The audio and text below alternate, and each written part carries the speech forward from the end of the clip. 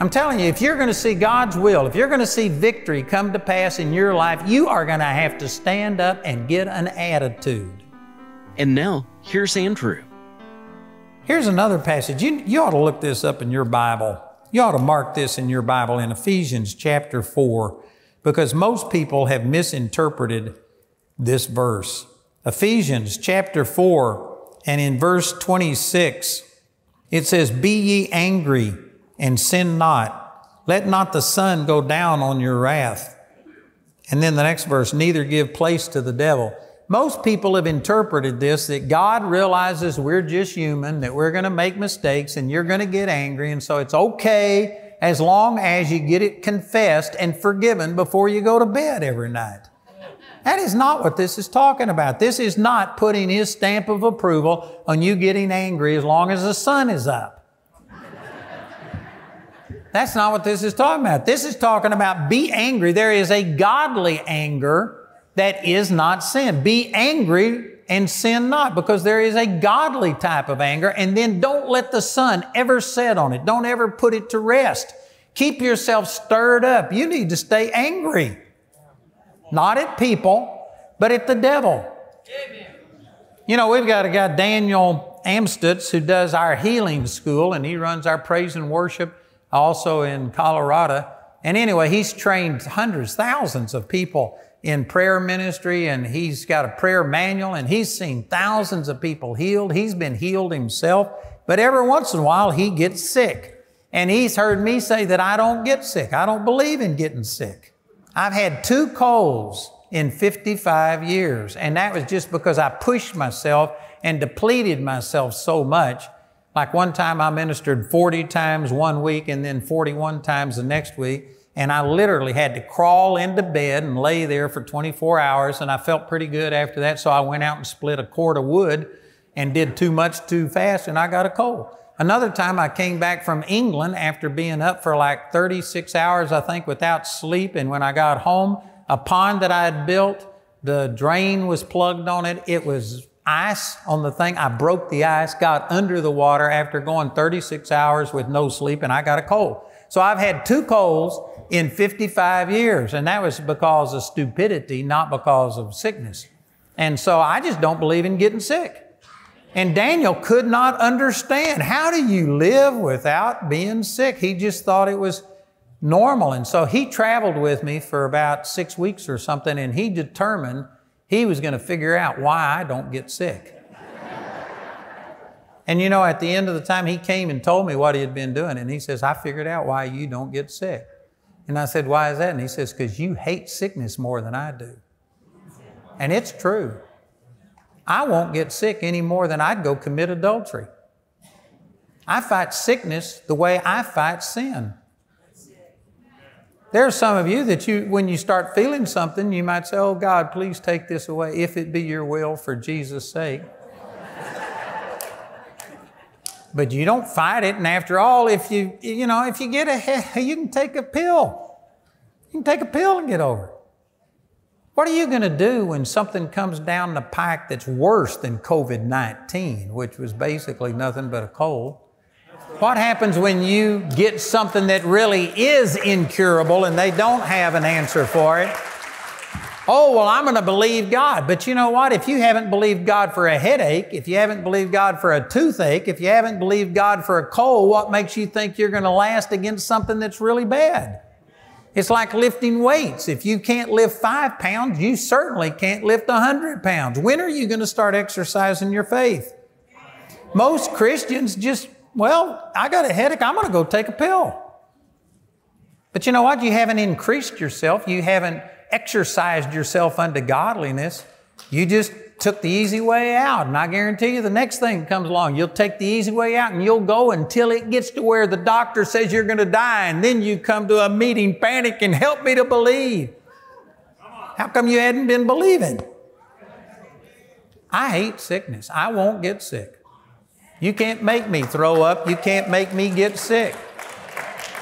It just ain't, it isn't going to happen. And I know many of you think, you can't live that way. Well, don't wake me up. This is how I'm living. I tell you what, I contend with the devil. When I see a promise in the Word of God, I am going to make that promise mine. And I contend, I fight over it. I'll fight for it. And, brothers and sisters, I'm saying this in love, but we've got a lot of wimps in the body of Christ that are just looking for the easiest way out and the path of least resistance so you can go watch as the stomach turns on the television so that you can go watch Naked Survivor. I've never seen that show, but I've seen it advertised. I think, who would want to watch something like that? Don't raise your hand. But I can guarantee if you're watching junk like that on television, no wonder your heart is insensitive towards God and things aren't working. That's not building you up. That's not helping you. You need to.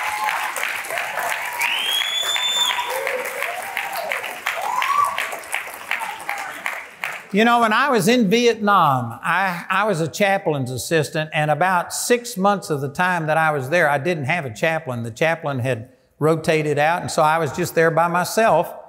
And I was on a fire support base where it was a battalion, and my boss was at the brigade level, 30 something miles away. So I had nobody on that hill. There was about 120 men on the hill, and nobody there was actually my boss. And so I could do anything I want to. And most of the time I just sat there and studied the Word all day long. But just to break the boredom, I volunteered for bunker guard every night. Most of the time you only pull bunker guard once a week or something like that. But I volunteered for bunker guard every single night just to have something to do. And I was shocked because you would have four people on bunker guard with three hour shifts. And did you know, usually I was the only one that would stay awake. The others, when it was their time, they'd just go to sleep. And we, we had our hill overrun by the Vietnamese. I mean, it was a life and death situation, and yet people would just go to sleep. They didn't take it seriously. I was shocked. And you know, this is exactly what most Christians are doing. We're just sitting here fiddling as Rome burns. We are sitting here just entertaining ourselves, watching junk that isn't changing anything, that's not helping anybody, not realizing that, man, we are in a fight for this nation. You are in a fight for your life. Satan is going about seeking whom he may devour, and the people he can devour are people that don't get stirred up and don't get mad and are willing to accept less than what God has given them. You need to get to a place to where, man, Satan, if you come against me, you are going to regret coming against me. I'm going to take the power that God has given me and I'm going to fight Satan with everything he's worth. You got to get angry.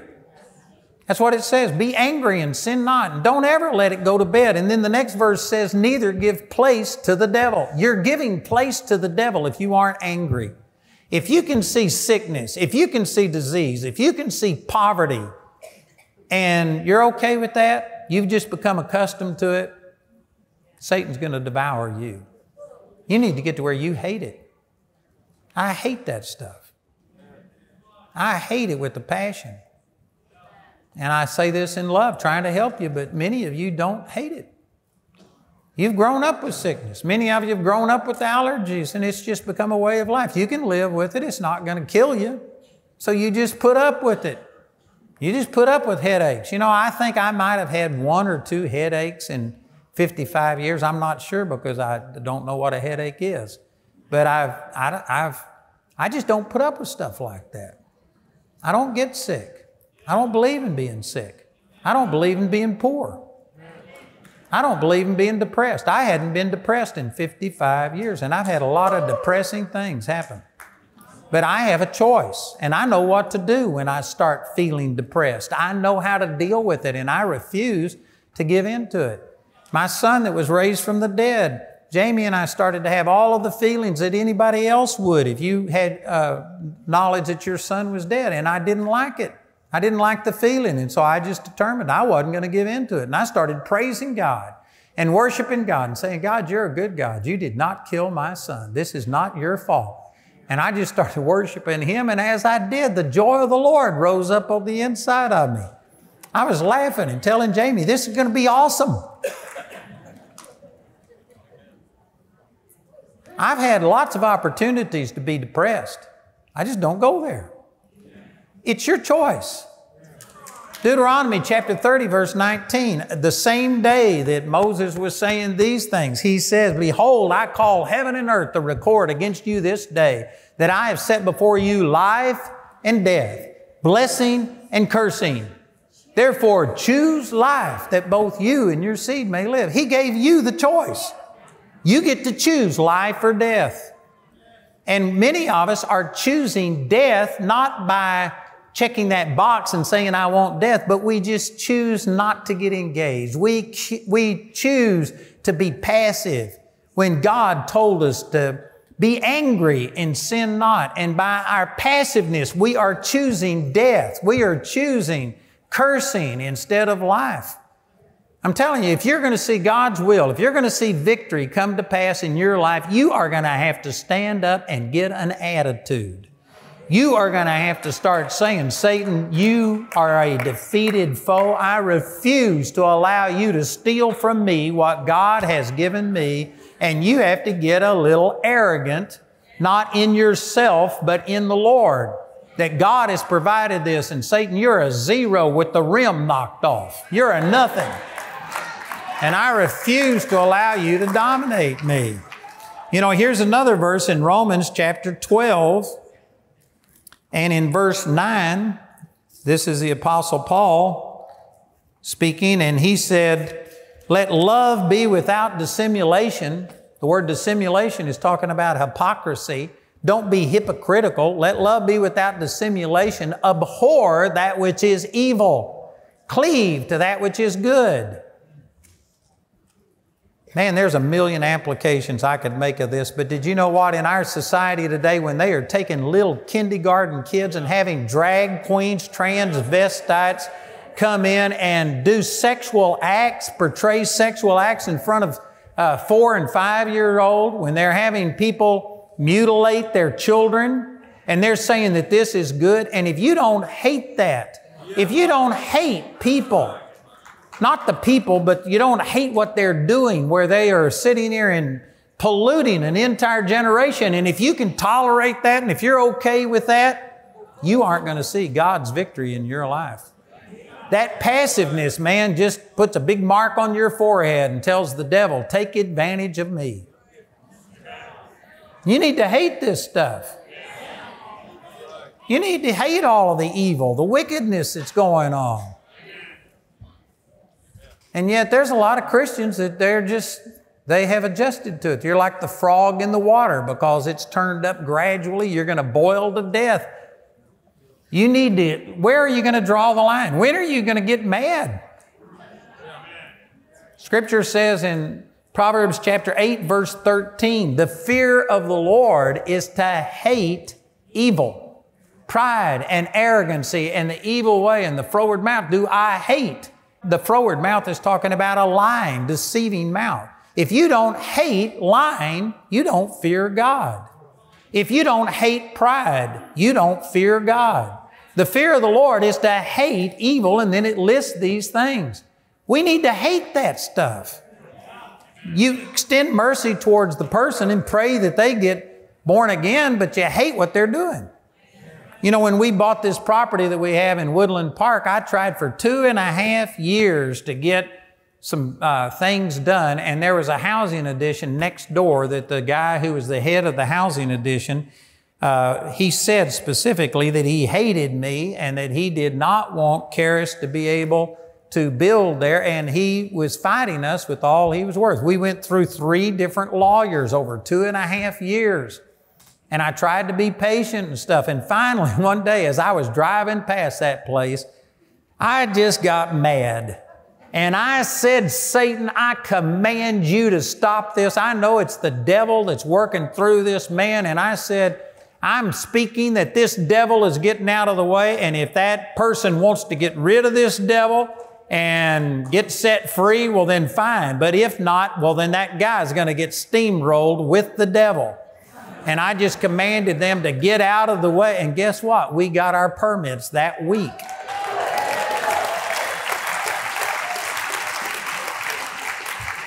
I remember when Jamie and I were first married and we were uh, struggling financially because of my own stupidity. I thought it was sin for a minister to work a secular job. And so I was trying to live full time of the ministry, and I only had five people in my church.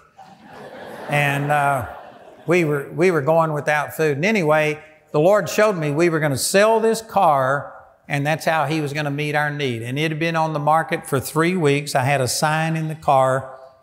And I admit that it was a dog. It was really a bad car, but the Lord told me that's how we were going to get our money. And I was, so anyway, one day I went down to the church building and I had just gone as far as I could go. We had to have some money. We'd been days without eating anything. And we had to have some money. And I just got to praying. And as I prayed, I got mad. I didn't get mad at God. I knew God wasn't my problem, but I knew that Satan somehow or another was hindering us. And I got mad. I mean, I was, yelling at the devil and I was groaning in the spirit. I don't have time to describe that, but that's Romans chapter 8, verse 26 and 27. And I was, I was groaning in the spirit, and I did that for over an hour, and I was fighting with the devil. And after a while, I just, everything broke, and there was just nothing but total peace and joy. It's what I believe the Pentecostals call praying through.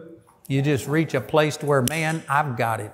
And I went home to tell Jamie, I said, this car is selling today. We're getting our money today. And before I could tell her that, she said, a guy just called and he's going to be at the church in five minutes to buy the car. Says he's got money. And I wasn't even able to tell her what had happened.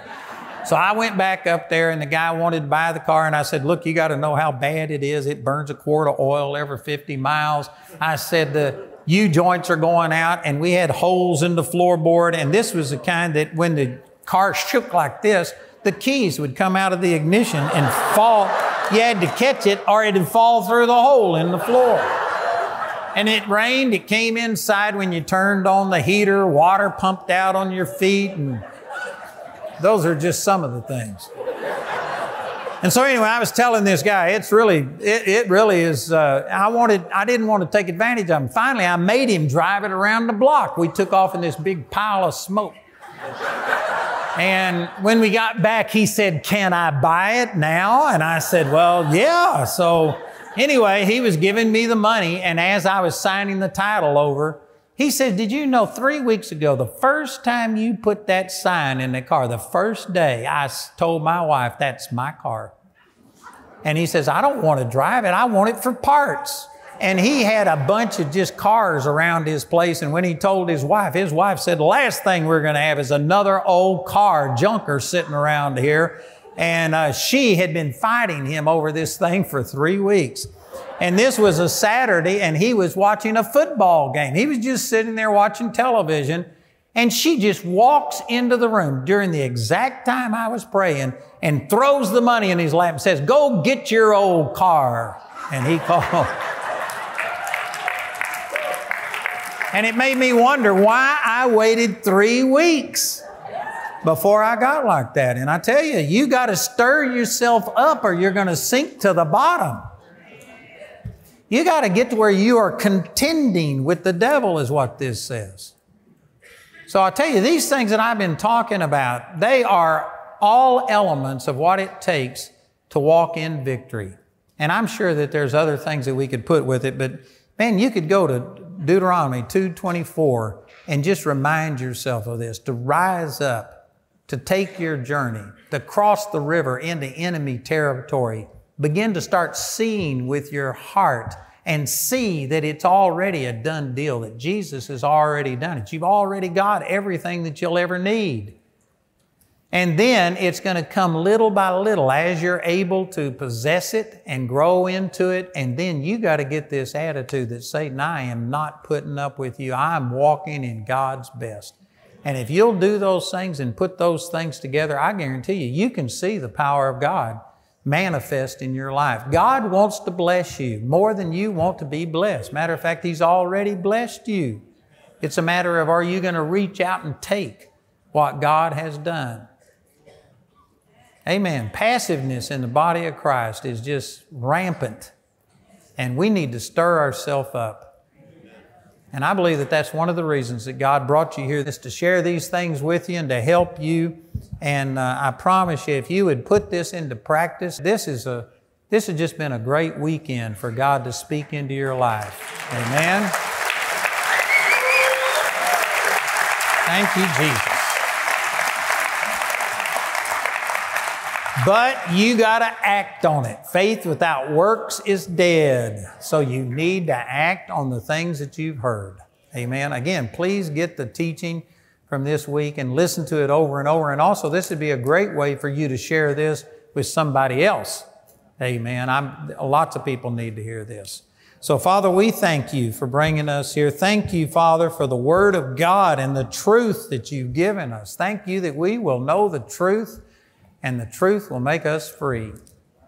Father, I believe that you've exposed error, that you've exposed some of the problems in our lives that have kept us from seeing your best come to pass. And so I thank you for that. And Holy Spirit, I believe that you are speaking to people, applying this directly to them, and helping them to walk in this victory. Thank you, Jesus. Father, we just agree and we receive that, and we believe that you are going to bring back to our remembrance all of the things that you have spoken to us this weekend. So, Father, we agree and we receive that in the mighty name of Jesus. Amen. Praise God. You can also order resources or receive prayer by calling our helpline at 719 635 1111. Our helpline is open 24 hours a day, 7 days a week. To write us, use the address on your screen. We appreciate your generosity and hope to hear from you today.